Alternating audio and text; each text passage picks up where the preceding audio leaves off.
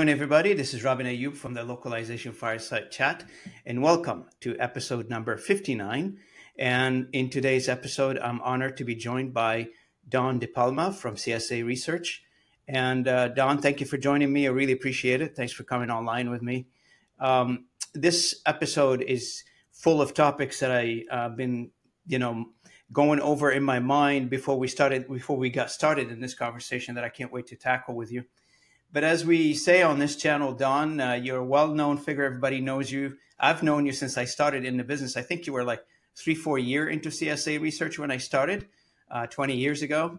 Uh, I know you've been. Uh, I just saw on your profile they just celebrated 25 years uh, with CSA research. You're one of the original founders. You're chief strategist for the for the organization. You've started the research industry in the localization industry. So you're the reason that other research indus- uh, companies have. Um, you know sprouted from the uh, from the uh, from the localization industry. You set the bar, uh, which is great for um, this industry needs more and more research. I would I believe, and we'll talk a little bit about that one. Like everybody says on this channel, I have a um, I have two theories for how people got into the business by accident or on purpose. Uh, so uh, everybody's dying to hear it. Tell me your story. How did you get into localization? I'm sure someone before said accidentally on purpose. Uh, so um, I was at, uh, at Forrester Research in the, the 90s, uh, working on enterprise class software uh, applications, researching that area, analyzing it, which included database, transaction processing, uh, a lot of fun technologies that, that drive business. Uh, during that, I, I, started working with a colleague on sizing the internet in 1995. Uh, believe it or not, that was a, a, a, concept back then. Would it be something? And uh, just the year before, the Mozilla browser had come into being. Uh, so we said, well, how big is this going to be? And we said, well, it's going to be really big. And in the course of that really bigness, I started looking at, well, this also means that it's going to be not just English, it's going to be global. And so I started a stream of research on uh, what the internet would be doing to uh, the software industry. The first report on that was called Software Sans Frontiers, which caused a problem in the publishing system uh, at the time because it didn't have diacritical marks. Uh, so you can imagine a, a, bit of difficulty. Went on to write another report on global websites, at the time interviewing uh, some of the companies that are still around, including Lionbridge and uh, uh, some others that uh, in various forms in the industry. And then as I proceeded with that, I decided this was something really interesting. Left Forrester, took a, a short uh, job with uh, as director of strategy at at Idiom, and at that point said, I, really like research more than I like uh, uh software development, which is where uh, I had been previously working on, uh, actually on, on software before I went to Forrester. go back even further than that, and the other part of this accident was that I was a Slavicist in academia uh, dealing with really fun topics, uh, uh, historical phonology, and then uh, generative and computational linguistics back when we were working on mainframes. And that's really where the bug bit me. this integration of, of language and technology has just defined my career over the last, well, too many years now. So um, now that you're uh, 25 years in uh, CSA research, for those who don't know CSA research, and some of my audience are not part of the localization industries, are, are probably on the outside look, looking in. Uh, could you give us a little bit of a sort of a schematic? What is CSA research? Departments, specialties, uh, you know, whatever you feel like describing the company would be great. Um, we're a, market research firm in the model of uh, uh, mainstream companies like IDC, Gartner, and Forrester. Uh, that's my heritage in this space. What I did when I looked at the language sector, uh, first uh, in those uh, days of 1997, 98, when I started doing some research in, in, the sector, I saw that this was a, a nascent kind of industry. Uh, a lot was happening. Technology was coming into play. There was a reality of uh, you know the internet at the time, but uh, it was still pretty much a cottage industry with a couple of exceptions. Uh, it was Berlitz and uh, Bowne at the time, and those have gotten absorbed in various ways. And I, I looked at this and said, uh, you know, this this industry needs uh, some sort of uh, uh, way of, of looking at it in a, a, structured fashion that said this is actually a business. It's not a collection of a bunch of linguists and small companies, but instead something that was serving a very real business. And so what I did then was said, okay, how do we apply the methodologies uh, that these uh, companies in the mainstream use to show that a company comes in, it has a value proposition, uh, it can sell that to that value proposition. It makes enough money to succeed, and it's mm. it's doing good along the way in, in the area where it's supposed to be doing good. And also, uh, in the case of the language sector, it also brings a lot of people in via inclusion uh, that otherwise would be left outside. So uh, we write research, qualitative and quantitative. I mean, some of you on this uh, podcast, listening to this podcast, may have been interviewed by us or surveyed by us and uh, I'll have to apologize for the surveys. We started the language market sizing survey uh, many years ago. I think we're into our 19th now. And uh, others have decided that's a great thing that they have to do. So every January, it's sort of like uh, the uh, the return of the flamingos or something. Uh, three or four surveys descend on you. So sorry about that. But what we do is we take this, we collect a representative sample across the market we validate the data, we make sure that everything is in there, we follow all of the proper statistical procedures, we size the market. Uh, before we do that, we validate the data with all the companies. So it's this process here. It's all about process uh, that is followed in other industries, and that was I was intent on bringing that to the language sector when I came in.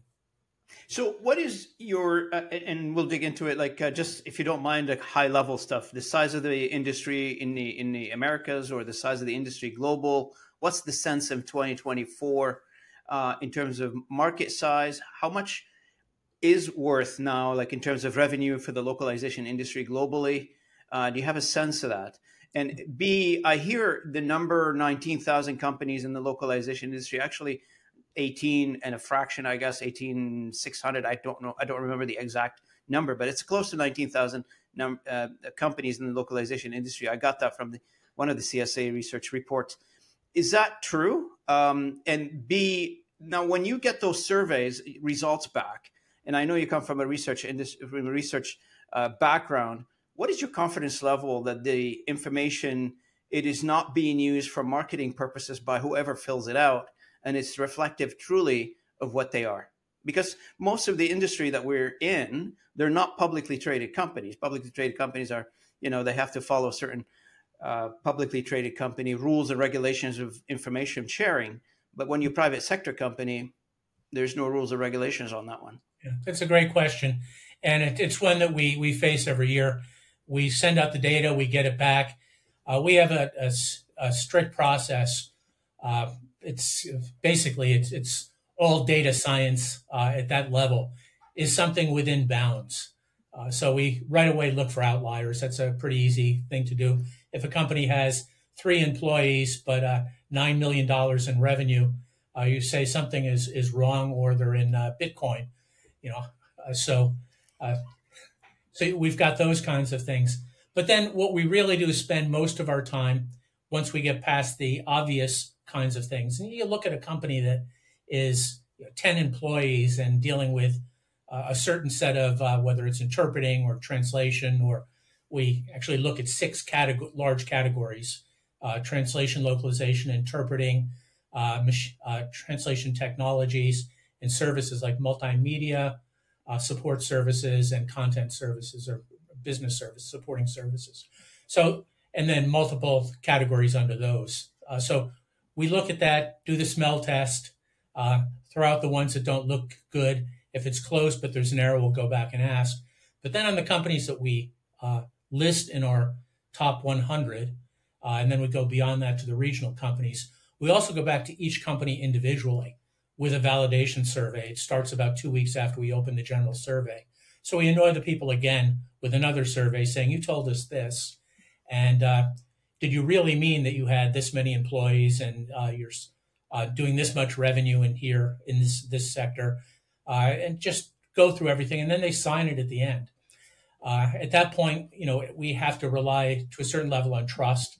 Uh, but at that point, we've we've also gotten to the uh, the issue of outliers have been removed. We've asked them specifically if there's any questions, and um, so to that extent, the companies that appear year after year on the list, you can have a high level of confidence. Mm-hmm. Uh, they're they are what they are. Uh, every now and then, there's a company which is you know flips up into the marketplace. Uh, either it's they've had a really great year and they show up previously they hadn't. We look at those kinds of things as well. So we spend an awful lot of time on on data, cleansing and, the data. Yeah, sanitizing uh, data, the data. Yeah. Data cleansing is an important issue, and yeah. Uh, yeah.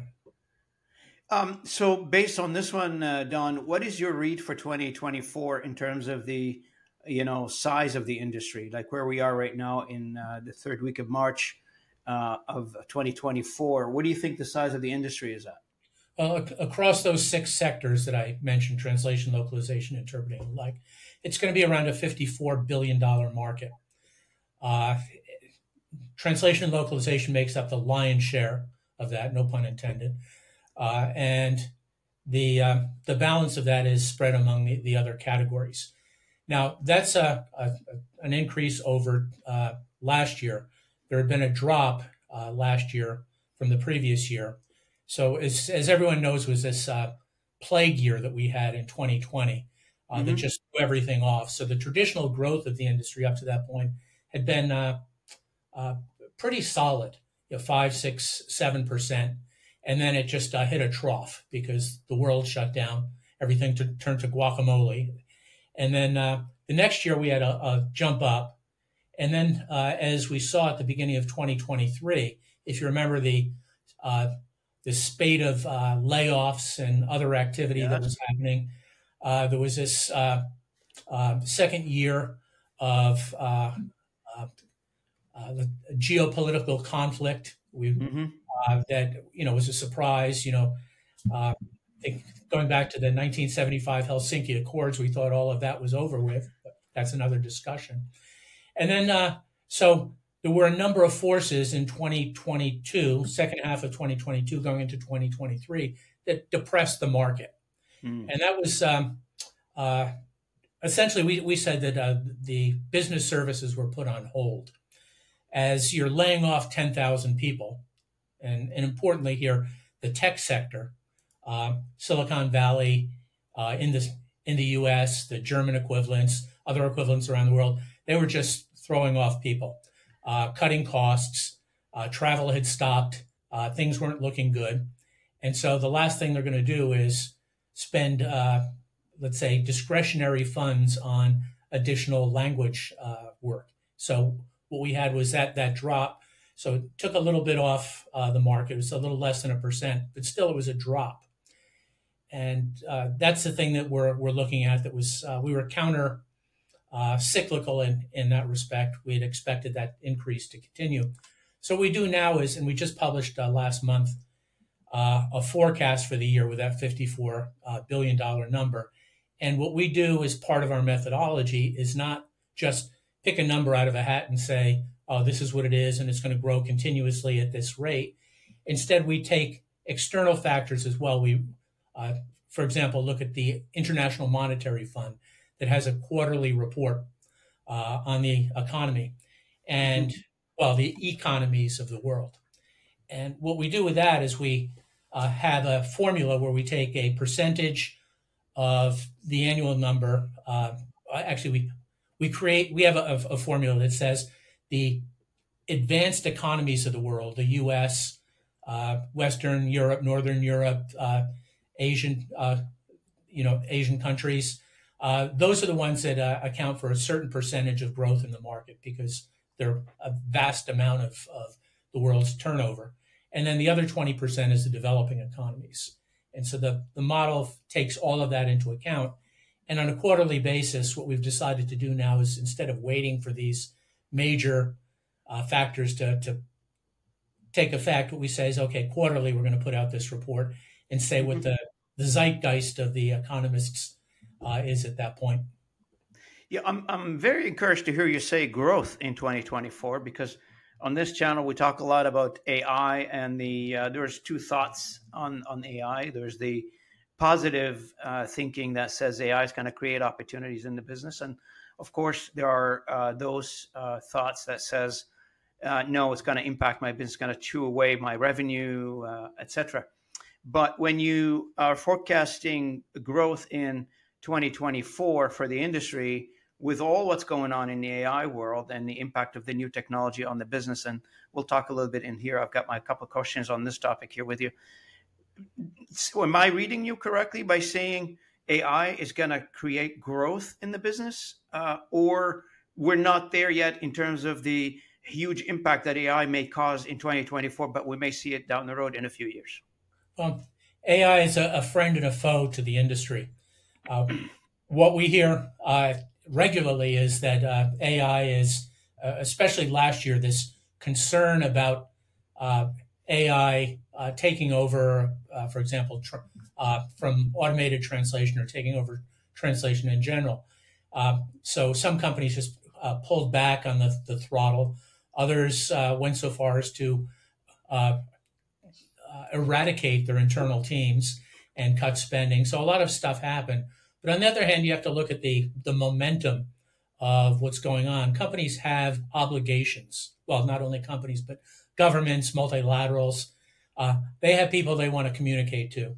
And their goal is to make sure that the communication is correct, that it's authentic, uh, that it meets the requirements. Because at the end of that pipe, the communications pipe, uh, there's a person, and that person has needs, requirements, wants.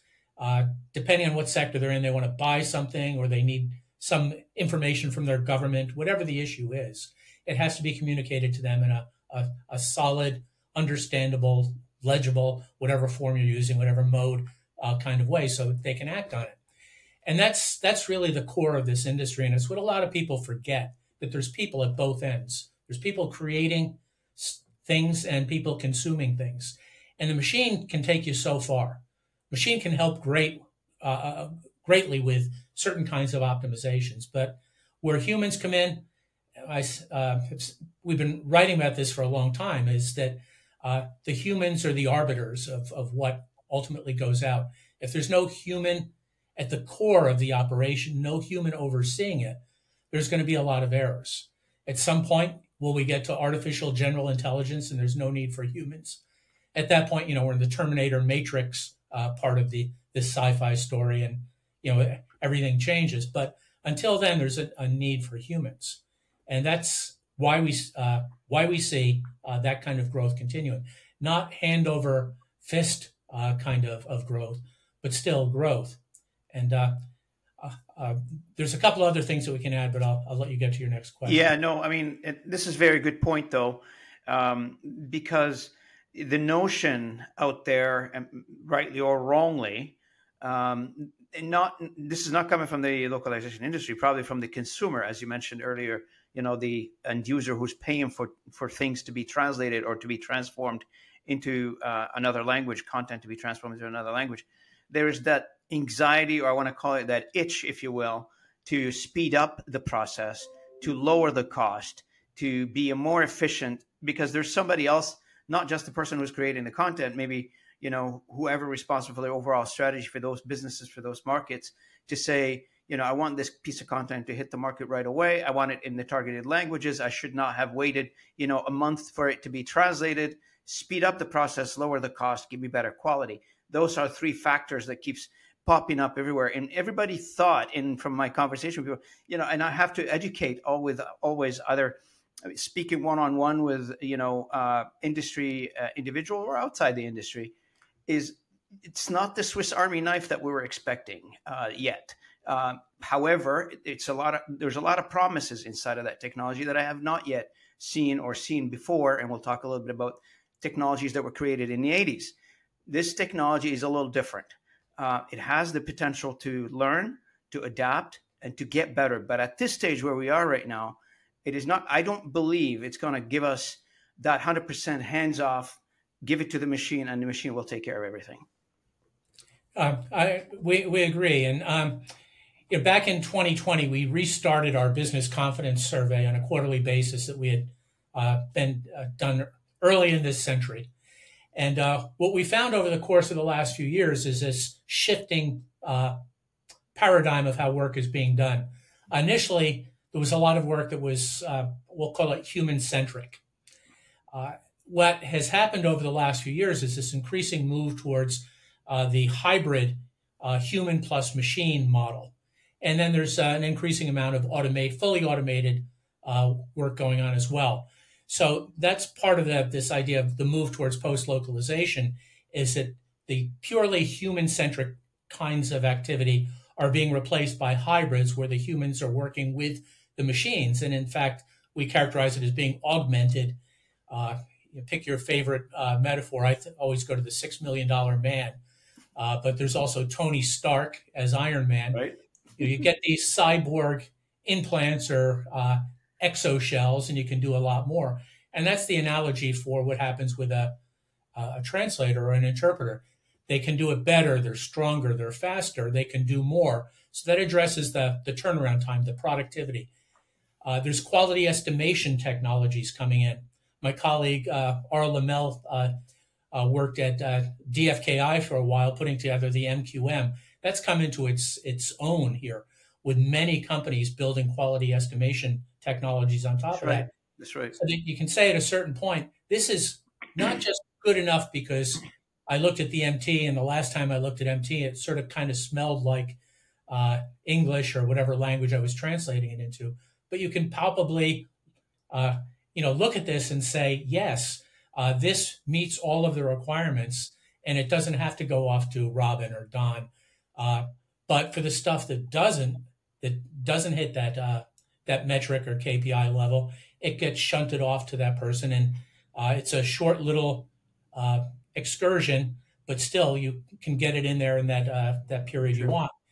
And with a human employed at that level, not sweeping up, we, we call uh, uh, frequently referred to MT as, as janitorial work after uh, an MT bad MT outcome and that's human in the loop. You know, that poor guy's at the end of the loop cleaning up afterwards. Clean it up. then it's human at the core. When you need a human, that human is there. That human is helping to train it.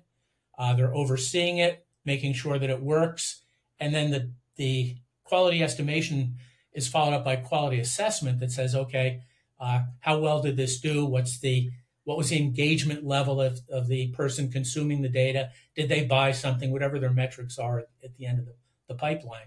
So all of that fits into this space uh, in, in, a way that it opens up a opportunities for humans here not to be, and I, am by saying just, not to be just translating or just editing. What they can do is be uh, cultural ambassadors, so to speak. They can be uh, people who know the regulatory structures and know that something isn't going to fit.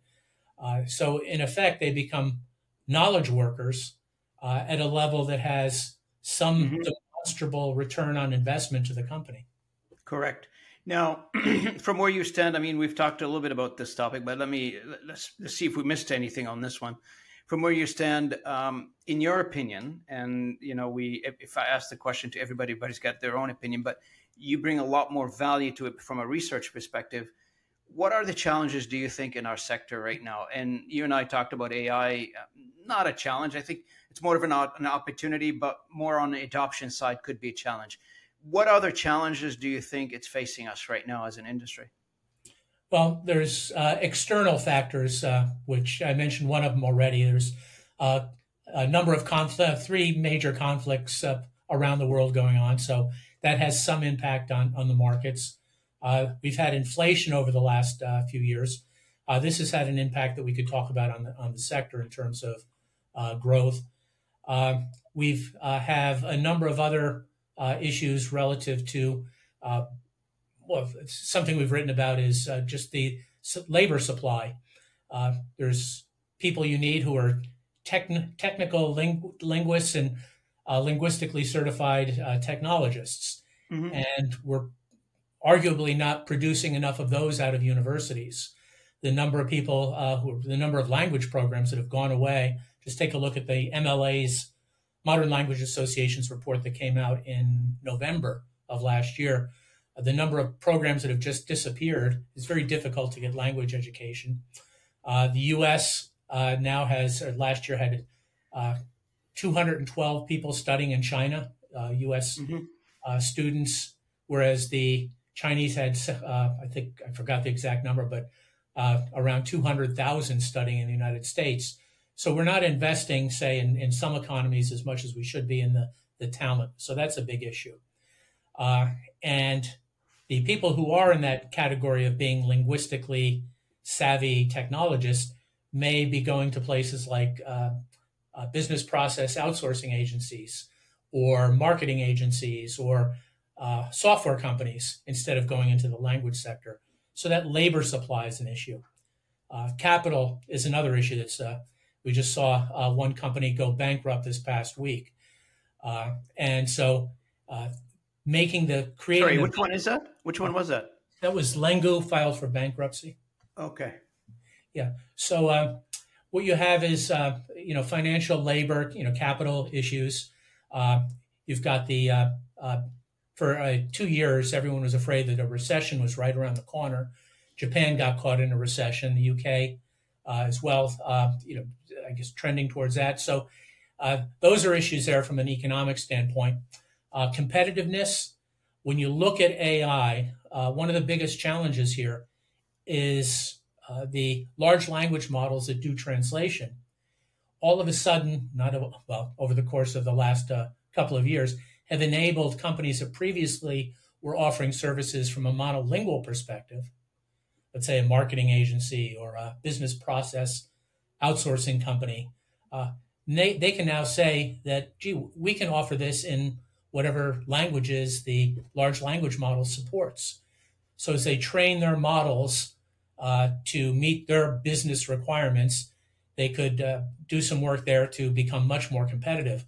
Uh, we have universal uh, machine translation around the internet. It's, it's very difficult uh, to not find it a lot of platforms have it built in, so that's a challenge in itself. So uh, LSPs have to really make the case that they're better than than those alternatives. Uh, and then uh, intrinsic issues, uh, just uh, there's a certain inertia in any industry. This is the way we've done it, and I don't know right. how how many times uh, we still see the what what's your value proposition? We do great translation or we do great interpreting uh, you know that's that's not enough. That's what you've got nineteen thousand companies in this in this industry. They all say the same, right? Yeah. And uh, so, uh, what this all comes down to is when you look at AI, this is an enabler for uh, companies in the space to say, okay, how can I take my game to the next level? And that next right. level, uh, I'll just put one little thing on this. We have done this thought exercise or experiment uh, a number of times since uh, I think 2009 is when we first did it with machine translation. How much stuff is created every day? How much content is created every day? And how much of that is translated? And, uh, you know, just translated. We're not even talking about interpreting. So what we do for that is there's this uh, resource that IDC uh, uh, has every year called the Global Data Sphere. And they count up from based on their work with all of the storage companies and the networking companies to say this is how much data has been created. And last year it was 33 uh, to the 10th times something to the 10th to the 18th power. I don't even know what that number is. I always mean to look it up, but it's, as we would say in, in grammar school, it's a gazillion uh, bytes uh, uh of, of data created every year or every day rather. So what we do is then is we take that number and then we throw out the stuff that's probably not useful, like telemetry data or other stuff which you know you're just not going to translate. We get down to this smaller number, and then we say, okay, uh, how much of that, given the amount of that 54 billion, uh, is tied to uh, uh translation? And uh, we say, oh, so 30 billion of that. We do the math, and then we say so many bytes are translated, and it comes down to like point zero point eight six seven or something like that, and that's on a daily basis, and that's just translation, and it's uh, doesn't take into account all of the previous days of stuff of being created with that shortfall. a lot of this has value, but a lot of it never ever gets leaves the language in which it was created. You want that in Albanian, you're not going to get it. So that's the opportunity, and that's where all of the growth around machine translation and uh, uh, large language models is yep. going to superpower uh, companies that want to do more of that. Of course. Now let's talk a little bit about the uh, tech and. Um, you know, I couldn't help but noticing that a lot of the technologies that they're still running the industry, that they're still core to our industry in general. And I'm speaking in general, of course, I'm generalizing because, and to some fact, it is true, to be honest with you, that a lot of our companies in our industry still running, you know, the usual TMSs and TMXs and that kind of thing. And those things were built, a technology that was built back in the days um, in the 90s uh, and 80s, uh, I would say. And so, with the evolution, and we're looking forward, uh, new tech, new um, a new era of computer software development, the way things are being developed now. Can we not, you know, what's what's your read on the old technology and where that new te- the old technology, which forms a big part of our localization industry, that technology piece of business, a technology business, where do, where is it going? Like, is it going to stay on the same bricks that was built on in the '80s, or is it going to get adapted, moved to a new platforms, a new way of dealing with these, uh, you know, memories? Who need, you know, do you still need memories? I, I don't know. What you read? Well, that's uh, a, another great question, and one that uh, I, I, think can be answered. You know, why they're still doing it that way is uh, what we used to call installed base momentum. Uh, it's just, it's, there's so much investment in those technologies that it's really hard to get away from them. And uh, so it's that um, uh, you, you just can't easily exit. But the problem too is where are you going to exit to? So if you have something like a very large translation management system that's working with you know 30 languages and nine repositories, and you built these connectors and or block connectors and done all of this work to make it work with your internal systems, it's a lot to deconstruct that and replace it with anything else. So at, at one level, there's uh, everyone would love to you know wave a, a magic wand and everything automatically is is transformed into newer technologies. But you've got all of this knowledge which is uh, built into these systems, a lot of uh, workflows You've got uh, thing uh, technologies built on standards that are no longer really being supported. We characterize them as being os- ossified. Uh, just you know, they're they're there, they work, and the systems built on them work. Uh, we did a council last year. Uh, we have these councils on the LSP side and on the enterprise side. On the enterprise side, uh, was out in Silicon Valley. The universal uh, plea coming out of that was give us some paradigm breaking translation management technology.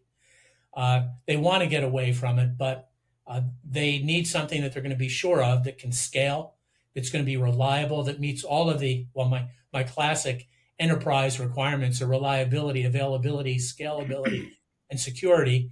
You need that for any of these systems because they're they're running commerce, they're running applications that uh, if they didn't work, companies would go out of business or they'd stop supporting various markets that they want to be in. So what we're starting to see is the roots of some systems that uh, could replace these, and it won't be a, uh, a, question of just taking you know your favorite TMS from 2005 and and rolling it over. There's going to have to be some heavy lifting to move it over. Heavy lifting is first going to be done by the companies building them. So there's uh, you know a, a dozen or so uh, that keep coming up on our radar of translation management systems. Most of those are going to have to be uh, replaced. Uh, the technologies coming out, AI is certainly helping in some respects. If you look at some of the automation tools out there, uh, like uh, MuleSoft or Blackbird, uh, Blackbird or Zapier or if this then that, that's kind of the model that people are looking for where there's an, an automated capability where you get triggers and events that you can say, okay, if this happens, make sure that happens over there. And those are being built on modern technologies. If you look at XML, for example, go back to what a lot of these were built on, yeah, that's just not going to stand up to some of the requirements for flexibility. That's where you're seeing more JSON and, and other technologies coming in. So expect a wholesale conversion to those, but it's not cheap. It was just I was just talking to an enterprise uh, a couple days ago that's got a several million dollar conversion effort going on uh, in their TMS. So mm-hmm. it, it's something you're they're going to have to take the bull by the horns and uh, pay for it, and it's it won't happen overnight uh, unless somebody comes up with some magic tool. But uh, yeah. I, I, like I interviewed uh, on this channel, Don uh, Bruno Bitter from Blackbird, and I was really impressed with the architecture that they have in place and the premises which Blackbird has been developed on. I'm sure I'm just exposed to Blackbird. I'm sure there's many others probably in the same vein. Uh, but from a Blackbird perspective, I really like the uh, uh, the no coding part uh, and the ability to connect with content and ability to connect with platforms on the fly. And before we would require a bunch of programmers sitting in the room trying to code, trying to figure this out. Now it's just to drag and drop into your uh, into your project sheet and then all of a sudden, as you mentioned earlier, build some triggers around it, which is always also built in. And all of a sudden, you have a platform that is customized to a customer use. Because at the end of the day, we tend to be more of an internal focus kind of a kind of an industry. At the end of the mm. day, somebody is using our services, and we kind of forget that. And and those individuals on the other side who's using our services probably pay well, most likely pay for the services, pay for the revenue generated by the industry. And this is the outside in versus the inside out kind of look. So, right. Well, you know, the one thing that you, you really have to uh, consider with any of these new tools is, uh, like I said, there's the the scalability issue. So that's something that will be part of the due diligence of any company evaluating these uh, technologies. Yep. Uh, but there's there's also the, the, let's call it the sustainability, uh, and this is a, a problem with any technology. When you step back and you say, yeah, I've been building this thing for 15 years. I have no idea what the heck it does. Uh, and you know, how can you back out the knowledge from that thing? Uh, and so it's, this is going to be the same problem, especially in the no coding environment, uh, where th- what it does is uh, something that is uh, way cool, uh, but can you reproduce that? Can you figure out what had happened? And so uh, this will be one of the uh, things that we expect to be built into those tools some audit chains, audit trails, uh, interrogation tools to say, okay, what actually happened here? Especially at some point, you know, without a doubt, something's going to go wrong or off the yep. track. and you want to say, okay, uh, who, what broke where? And that's yep. that's just something that comes with the, let's call it the second generation of these products. Uh, so, um, these guys are all smart. The com- I've had uh, some uh, briefings with companies. Uh, I'm just some there's some very impressive stuff happening out there, and uh, yeah, so uh, there's uh, thing things will will get better in that space. So one of the uh, one of the topics that you know it's always been on my mind since we started talking about you know ChatGPT, artificial intelligence in general, and the widely used tools such as ChatGPT and the rest of them uh, is the ability to create content in original content in the target language. So one of the biggest question, and I think you and I alluded to that in our prep call, is um, have we entered an era of post localization? And you know, just from a general perspective, where do you think this is heading?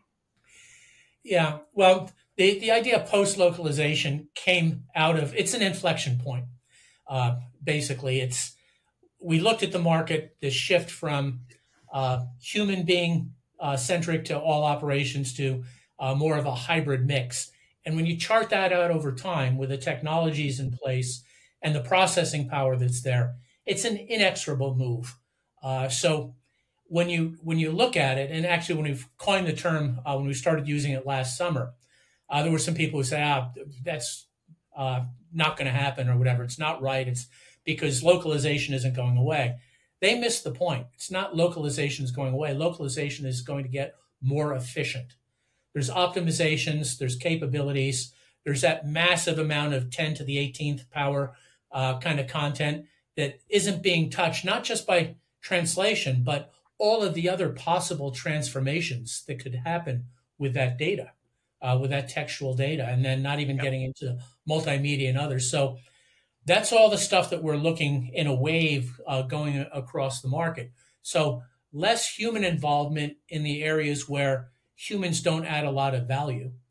You don't need, uh, for example, as we were talking about, a, a human to like check every bit of content going across when a machine can check a large percentage of that and determine whether you need somebody else to look at it.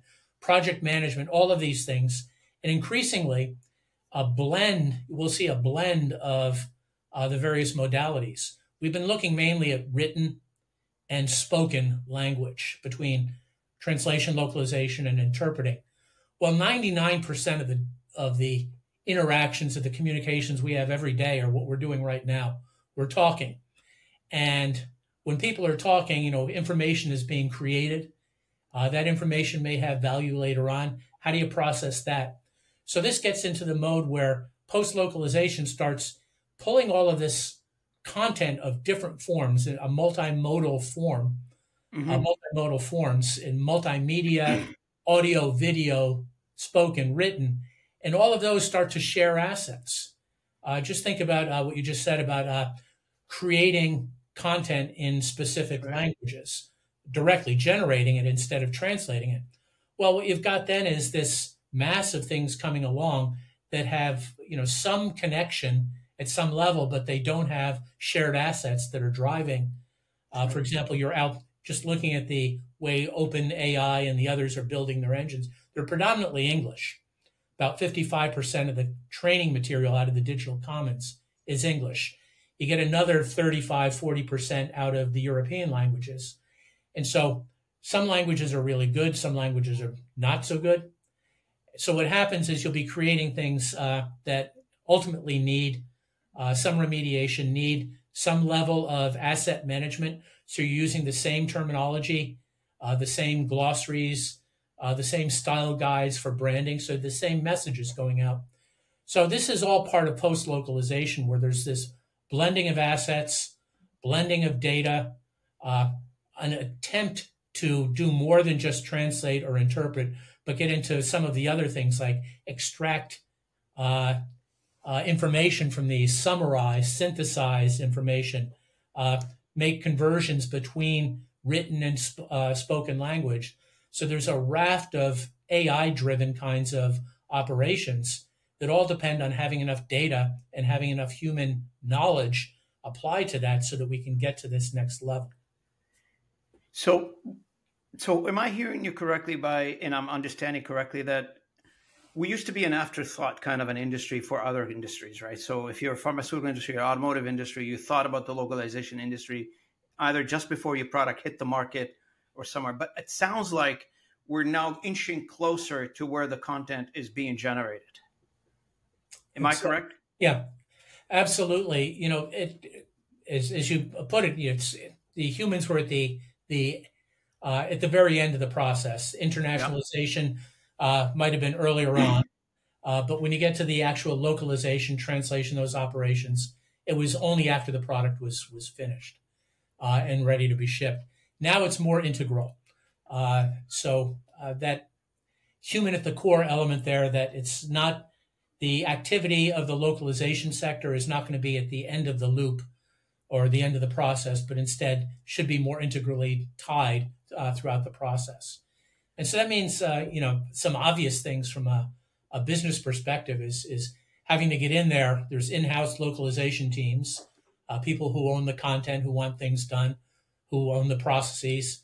Uh, you've mm-hmm. got uh, uh, companies that are global uh, that yep. might outsource it to another unit in, in the company that in turn outsources it to somebody outside. There's a lot of permutations in this, and what the, uh, this, the industry has to do is start selling marketing into those uh, various sectors. And on the business side, on the, the demand side, they're going to be looking at a very broad array of offerings, not only from the traditional BPOs and marketing agencies and others that now claim, oh, we can do it too.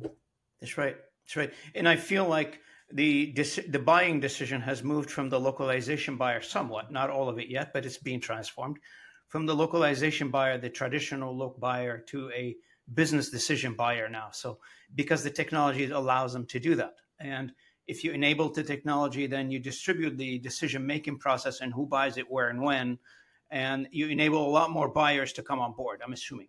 Right. Well, what we're seeing in, in some organizations that are more advanced in this move to post localization yep. is as they're, they're, dealing with global content. Uh, they're dealing with global content. They realize that any bit of information has the potential to advance the company's cause in some other market. Yep. So they want to make sure that they, they have some control over that. And uh, so what that means is that it could be anybody. It could it means there's going to have to be uh, somebody in DevOps or content ops or marketing ops or whatever the previous generation of those were called. We've been talking about LangOps uh, as well as the group inside that coordinates with the groups that are building the applications or building the products and having them documented and importantly supported and marketing and sold uh, in the languages that make sense for those those particular markets. We're getting into as well uh, multi-dialect kinds of issues as well. So, you know, you just say, okay, OpenAI can do this. Well, can OpenAI do this in the 37 dialects of Spanish or however many there, there are? Uh, I'm sure you can find some LSP that specializes in that. So yep. those are the kinds of opportunities that companies are going to have to be looking forward, uh, looking to in, in, the future. And uh, you know, it's the, the one thing we keep coming back to is this isn't just the language sector that's experiencing this right now. Uh, everyone who has a, a, knowledge worker kind of job in the world is saying, uh, "What is this going to do to my job?" Uh, and uh, so that's right. It's a big community.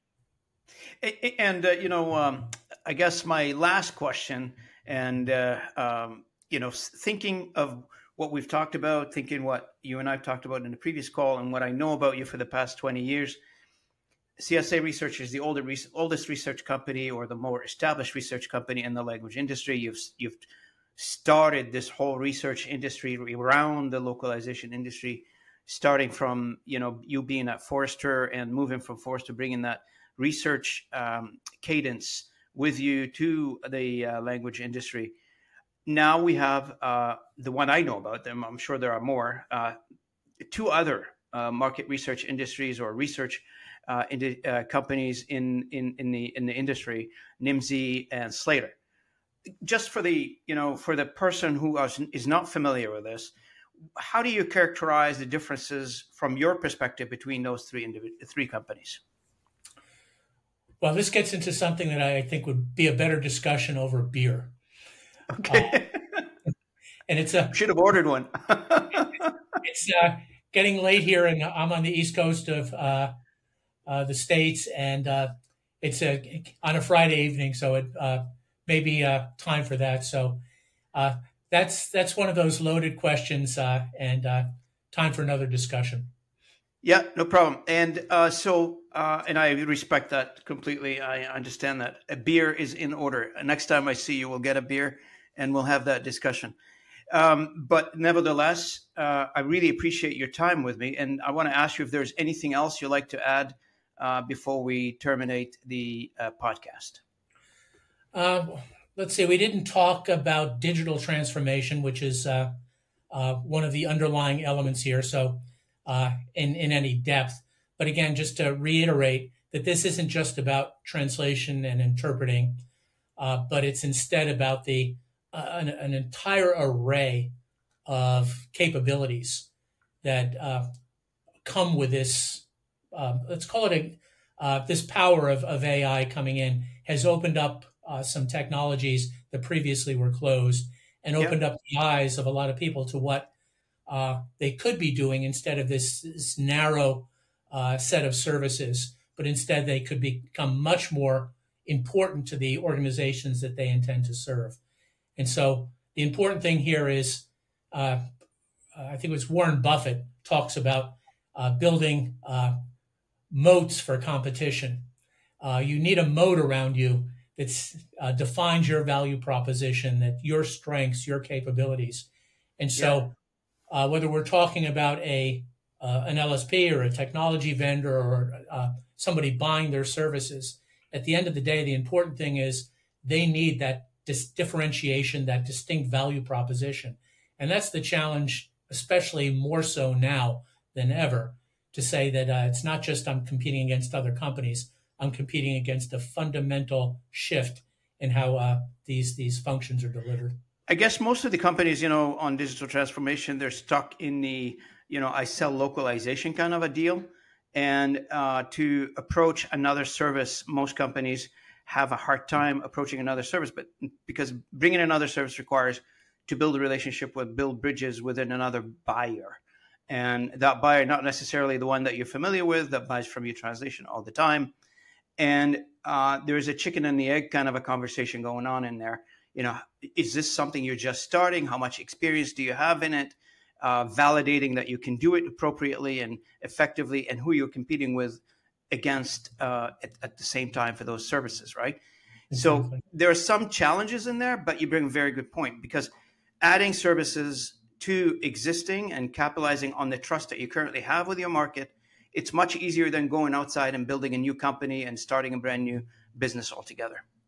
Right. This simple thing would be I'm doing translation.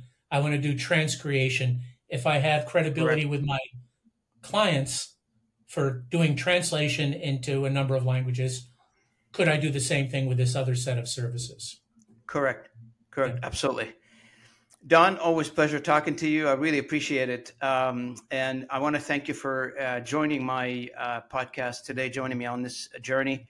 Um, and, and I know um, I hope it won't be the last one. I hope we can get you back on the show here um, more often. I'd love to hear from you, get an update from you every once in a while what's going on in the world of uh, our world that is changing rapidly, and uh, we hardly can keep up with the changes that are coming.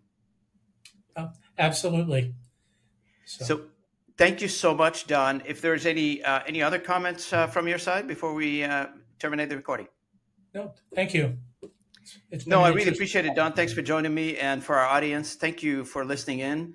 Uh, for those who are watching on YouTube, thanks for joining me. If you don't mind, if you like what we uh, do on this channel, please like and subscribe and comment on our content. If you have any ideas of uh, what you like to hear or topics that you like to for us to discuss on this channel, please share with me. I really appreciate it as well. So, thanks for everybody. Enjoy the uh, weekend, and uh, we'll talk to you next episode. Appreciate it.